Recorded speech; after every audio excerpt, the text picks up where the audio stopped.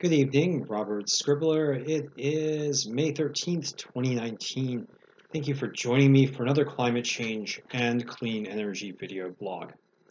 Now, for this segment, I'm going to continue my discussion on how climate change impacts hydrology in relationship to new news that has just come out out of NOAA and the National Climate Data Center showing that the past 12 months in the US were the wettest 12 month period on record since record keeping began for the US 124 years ago. And what I'm going to explain is how climate change is influencing both extreme wet and extreme dry periods in the US. And to point, it is worth noting that the decade of the 2010s has seen some of the driest periods on record for parts of the US and some of the wettest periods on record for parts of the US. This kind of polarization of extremes is exactly something that we would expect from human caused climate change because as the earth warms for each one degree Celsius, you get about a 7% increase in evaporation and precipitation rates.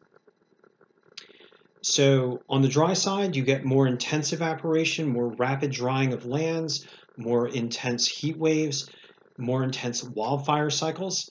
And on the wet side, you tend to get more intense and extreme rainfall events, and storms that are capable of reaching a higher peak intensity as more moisture and water vapor are flooding up into the atmosphere, which is a major mechanism that fuels storms. Turning to US trends, we find that the present US trend for the past century roughly matches what one would expect in a globe that has warmed by about 1 degree Celsius, maybe about 1.1 degrees Celsius, because in the US, average precipitation has increased over the past century by about 7%. And that, that roughly equates to the expected precipitation increase you would tend to see as a result of global warming in the range of about 1 degree Celsius.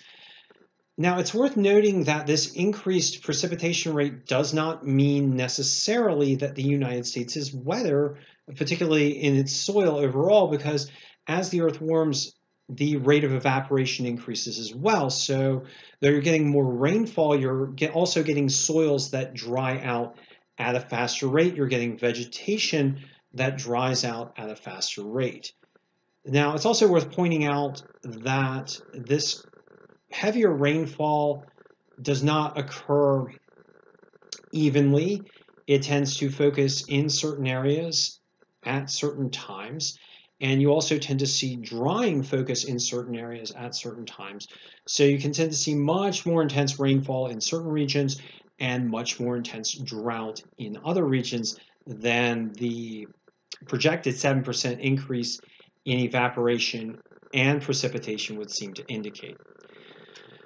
Now, over the past 12 months, the National Climate Data Center shows both a much warmer than normal US, with national average temperatures ranking, uh, you know, as 109 out of 124 for warmest on record, and national maximum temperature rankings pretty high as well, and the national minimum temperature rankings ranking in the top five warmest 12 month periods for, for the last 12 months. But most notable is the fact that the past 12 months were the wettest on record, as you can see by this graphic here, record wettest for all of the last 124 years. And looking at the distribution of where it was wet and where it was dry, we find that most of the US was wetter than usual, uh, showing above average precipitation ranks, but with a focus on higher precipitation rates across the central and eastern US. And we're going to go into some of the reasons why precipitation was most focused in this region.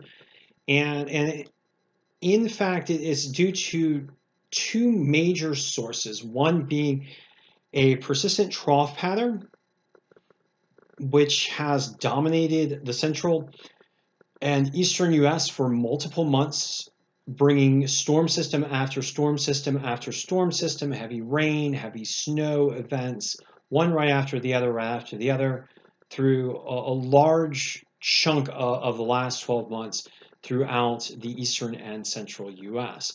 Now, it doesn't mean that there weren't dry periods within this much larger wet period, but for the most part, the trend has been for trough development and storm development in this region. The other factor involved in these wetter than normal conditions was the major impact of Hurricane Florence on the Mid-Atlantic and the Carolinas, which dumped upwards of 30 inches or more of rain over southeastern North Carolina. These two influences playing a major role in the record wet last 12 months that we have seen.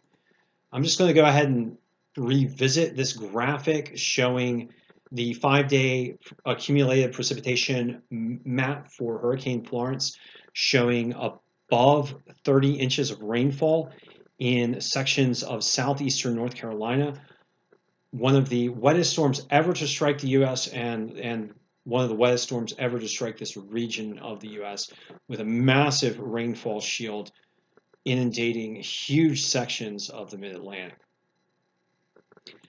The other factor I just like to show visually has been this persistent dip in the jet stream that we have tended to see over the central and eastern U.S., drawing cool air down from the north, north and moisture up from the south, particularly from a warmer than normal Gulf of Mexico, much warmer than normal Atlantic Ocean off the U.S. East Coast, and a warmer than normal Pacific Ocean, all feeding moisture into this trough pattern as instability is generated with cool air plunging down from the Arctic.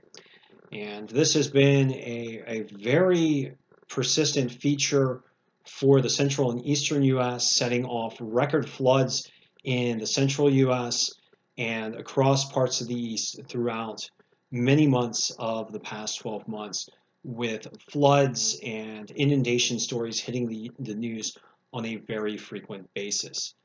Now, these climate change, these impacts, these weather impacts come in the context of overall climate change and are influenced by overall climate change due to the overall warming influence on the hydrological cycle and also likely due to the overall influence of polar amplification in which the poles warm faster than the lower latitudes on mid-latitude jet stream patterns which tend to generate more intense ridge patterns and more intense trough patterns.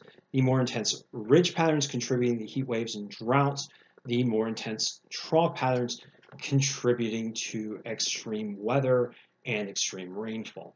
So these two factors helping to contribute to the wettest 12-month period that we have seen for the U.S.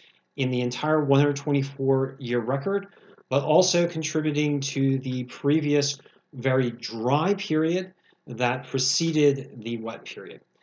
Now, unfortunately, with human-caused climate change, we would expect to see the kind of extreme swings that we are seeing now between very wet and very dry conditions. And as the Earth warms, that polarization will tend to amplify, particularly in the 1 to 4 degree Celsius warming range, beyond which you might actually get a tendency for just more stagnation and and more more drying in general. But but at present, the overall trend in warming is is for more extreme and more polarized weather conditions which of which the last 12 months sets sets another data point to to show that yes, we are in a period of of increasing extremes. So thank you for joining me, and I'll be chatting with you soon.